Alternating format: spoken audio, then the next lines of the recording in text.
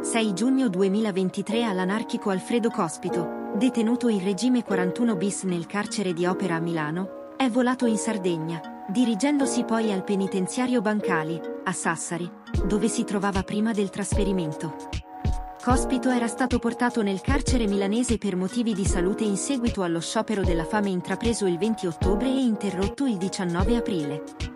Il carcere di Opera, infatti, dispone di un reparto per il ricovero dei detenuti malati che manca nel penitenziario sardo.